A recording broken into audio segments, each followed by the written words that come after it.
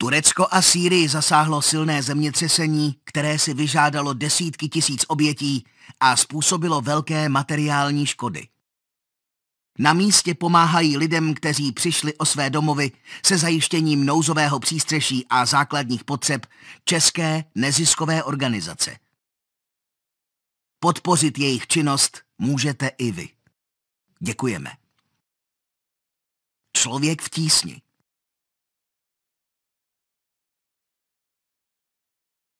Charita Česká republika.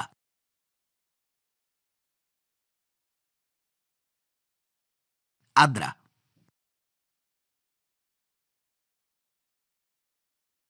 Český červený kříž.